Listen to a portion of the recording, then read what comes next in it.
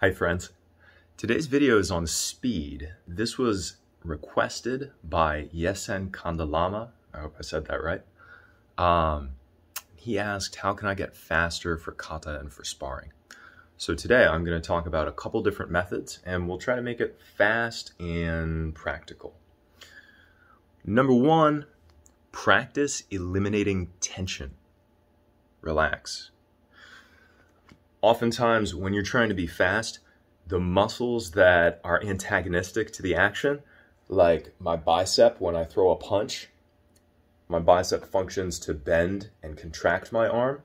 But when I punch, I'm trying to extend and just use the tricep, maybe the pectorals, maybe some of the shoulder muscles.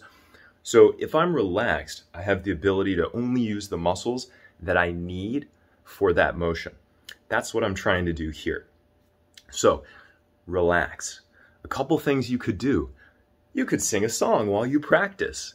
One of my friends had great success singing, I'm so witty and pretty and bright, as he was doing a kata.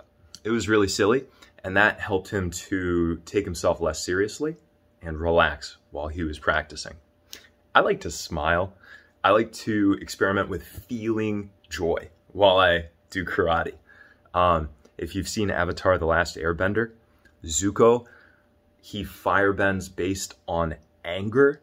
And when he stops doing that, he needs a new power source, right? So this is kind of similar in that regard. Try relaxing by pumping some positive emotions into your practice. The next thing you could try is having an immediate contraction. Now, what does that mean? If you've ever listened to someone sing, they can hit different notes or they can slide two different notes, right? So you can go, ah, uh, or you could go, ah. Uh, you, you can have that sort of transitionary period take time, or you can have it be instantaneous. When you're doing most quick movements in kata or in sparring, you want to imagine being in the fully extended position or back in your guard, nothing in between. I visualize lightning. So there's nothing, it's a dark sky, and then boom, it's there, and you see this fork of lightning fully extended between the ground and the sky. Okay? So I visualize the finished point, and in that way, I avoid sliding between the notes. I go from one to the next right away. That sort of immediacy increases speed. And let's see if I can show you what I mean. I can have my guard up and I'm kneeling, so it's going to be a little silly, but I can imagine hmm, sort of having that full extension and going from A all the way out to B as a process. Or I can just imagine the finished point and I don't I don't really think about anything else. It's just it's here or it's here. There's no time in between. There's no movement on the way. It's just all the way there already. Okay? So if you can eliminate the idea of needing to travel from A to B from the beginning to the finished position, if you if you just take away the idea of effort there, this can improve your speed, make it more effortless, which again was the first tip, um, and you'll be faster because you're not fighting yourself as much. Now, sometimes your body might not know exactly how to perform a technique, so it might be waiting on the right muscles to activate. It might I don't want to say your body's thinking about it, but there might be some impediment to your performance based on you still trying to figure out how to do the move. So in the case of a punch, for instance, I like to practice in slow motion in as much detail as possible to lock in that technique. So if I'm doing the punch, I'm going to, you know, reduce it to really simple technique. I'm not going to worry about my stance yet or anything like that. And I'm gonna pull, trade places, and extend, focusing on the two big knuckles, scraping the edge of my body, scraping the edge of my body, rotating at the last second. And in this way, I kind of dial in the technique that I'm looking for. Okay? And then next, I would focus on relaxation while I practice and continue to try to increase the speed by allocating more effort to what I'm doing, more muscular activation.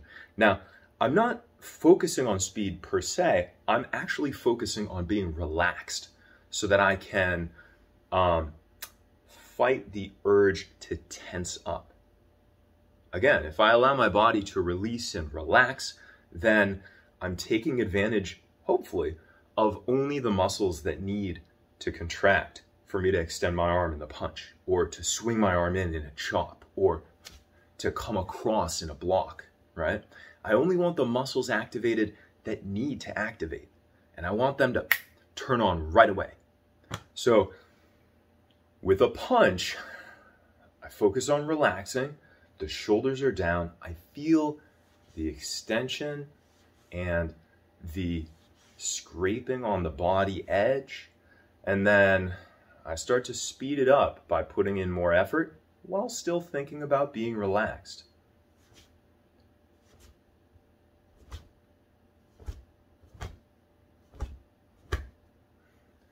And in that way, I'm dialing it in, I'm training my body what to do, and I'm shaving off resistance. I'm shaving off waste.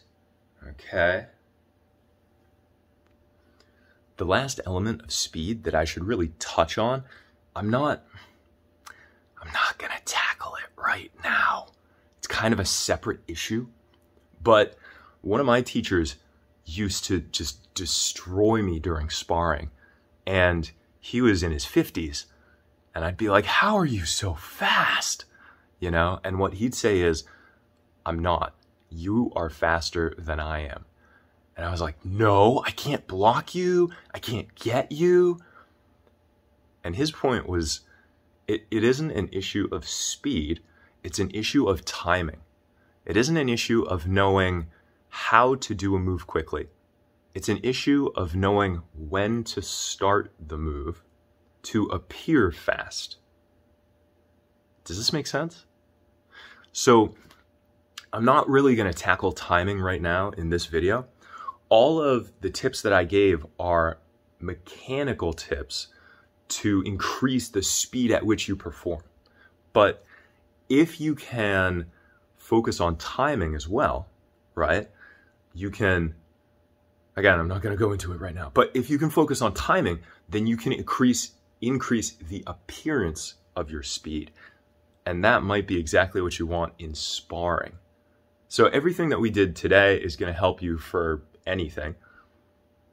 But it's mainly focused on kata. It's it's more about the performance.